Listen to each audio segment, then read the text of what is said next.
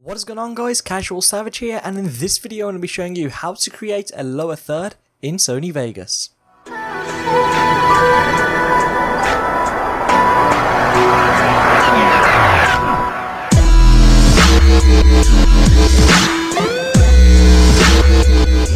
Now just before I get into this tutorial, if you'd like to request a tutorial, then be sure to leave it in the comments below or ask me on Twitter.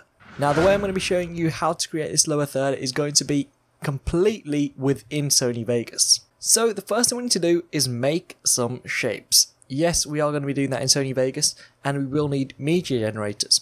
If you do not see media generators, then simply come to View, Windows Layout and select Default Layout. Now from there you should see media generators, you want to select it and you want to come down and look for solid color. This is where you pick what color you want the bar of your lower third to be. So for me right now I am just going to go with a simple black and white. So I'm first of all going to be dragging on black you will be presented with this and the good thing about this you can change a color whenever you would like so if you want to you can create the design first and then go back to the colors after so you can X out of this and now we're going to come to the event pan and crop. We're going to select mask. For those that don't have mask, you can use the cookie cutter effect, which is under video effects. Now from here, we're going to select the rectangle or square mask creation tool. So just select it and we're just going to left click and drag.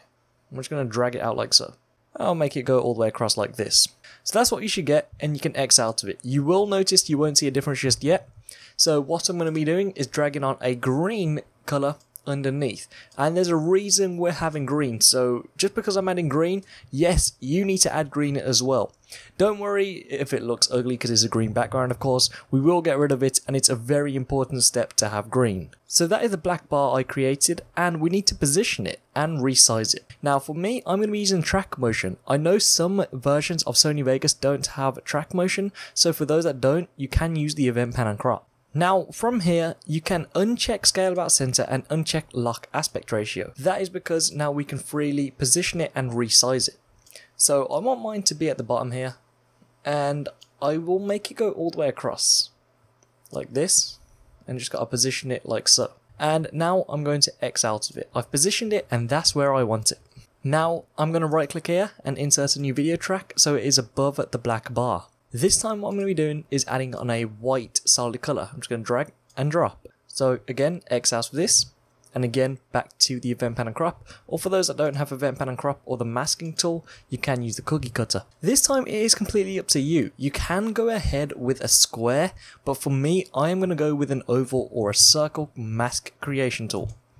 Now, when doing this one, don't just click and drag out, because as you can see, you cannot keep it in proportion. So hold shift and drag it out.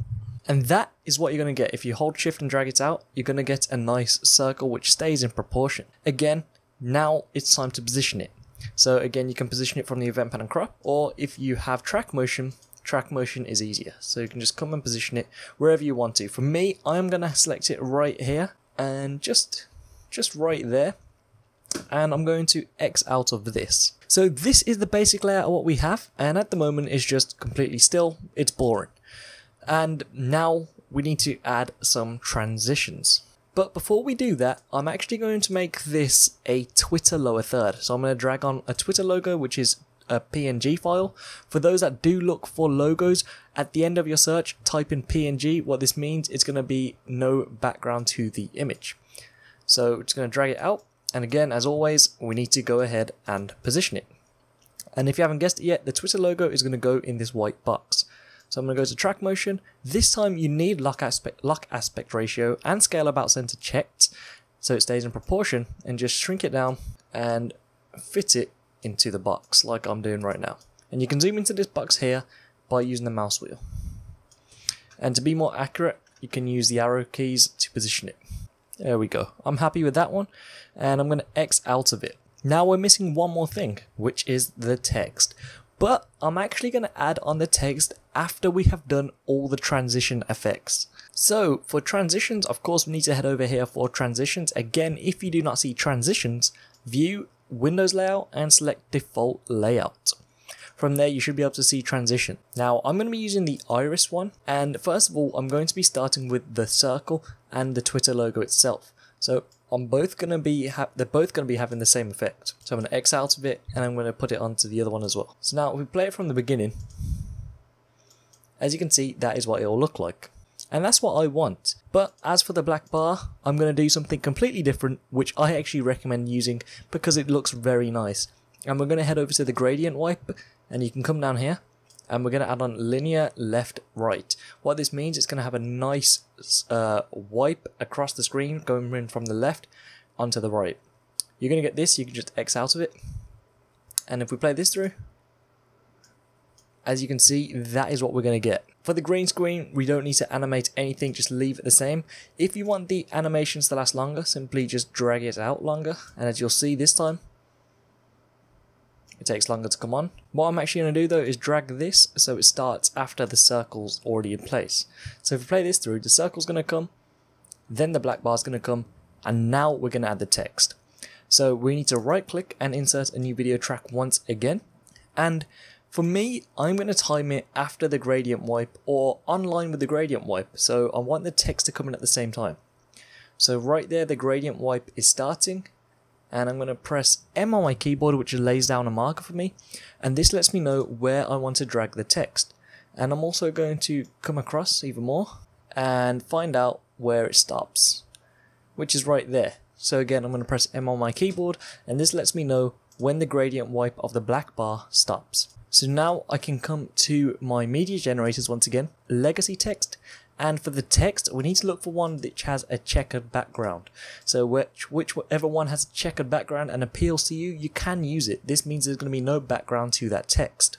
So for me, I'm going to simply add on a default text, and I'm going to call, actually name this, follow me on Twitter, at Casual Savage. Very simple. Now from here, I'm going to press Control A on my keyboard to highlight all of it and then I'm going to change the font size so it would fit in this box. Maybe at 26 24 maybe. And it may look small now but we will make it look better.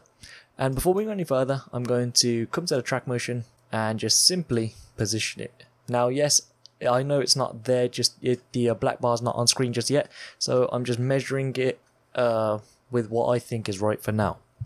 So I'm going to X out of it, and if we play this through, the text will just appear for the moment, and that is what we're going to get. I think it's positioned a bit too high up, so I'm going to position it down. Heading back to the track motion, uncheck sync cursor because we want to stay there, and we're going to select the keyframe we just created, left click, and use the arrows to position it. If it moves too much like this, as you can see, if you zoom in on this part, as you can see, it takes little steps here. And that's what we want, just like that.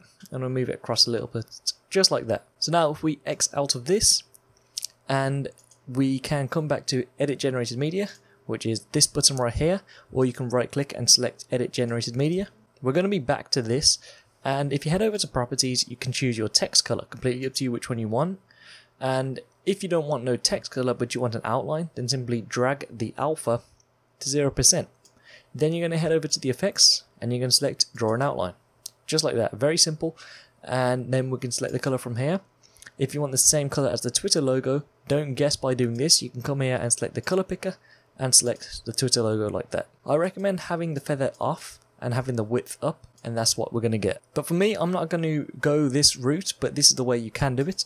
I'm actually going to have text on. It's going to be white text, but it is going to be a different or a thinner outline. No outline actually, I prefer no outline. And I'm going to X out of it. And to make it bigger, I'm also going to be using track motion again. So again, select your keyframe and just make it a bit bigger. There we go. And I'm going to position it to the right a bit, just like that. I'm going to X out of it. And now we're almost done. The last thing we need to do is add a transition to our text. So again, transitions. And for this one, I'm also adding a gradient wipe. And you'll see why in a minute. So if we play this through now,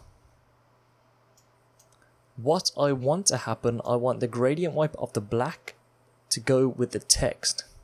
See, it sort of does it there, but the black bar is too fast for it. So the gradient wipe we added on the text, I'm going to drag it down, and I think there is good enough. So now if I play this through from the beginning, just like that, that is how we have created a lower third in Sony Vegas. Now from here, we need to render it out. And this is why we had a green screen. So we're just going to double click and make sure we highlight all of our video. Make sure this is set to best and full. Then just go and render it as you would normally would render a video. So right now my video is rendering. It's going to be quick because it's only a bit of animation. And changing the icon is very simple. Again, all you need to do is Google search, such as a Facebook PNG, save it, and then replace the Twitter icon with the Facebook icon. So as you can see, mine is now done. And what I recommend doing is come to File, Save As, and you're going to save this as a projects file. So you can call this lower thirds. And now if you X out of it very quickly and we open ba this back up, the projects we have just saved known as lower thirds, as you'll see, what we have just created is saved, so we don't need to recreate it over again. So again, if you want to replace the logo, just delete this and then put your logo in right here. So here is the lower third, and if we open it up and just play it from the beginning, this is what it looks like. Just like that. And that is how easy it is to create a lower third in Sony Vegas. I hope this video has helped you and like I mentioned at the start, if you'd like to request a tutorial then be sure to leave it in the comments below or ask me on Twitter. That's it for this video, thank you so much for watching, please subscribe, rate and peace.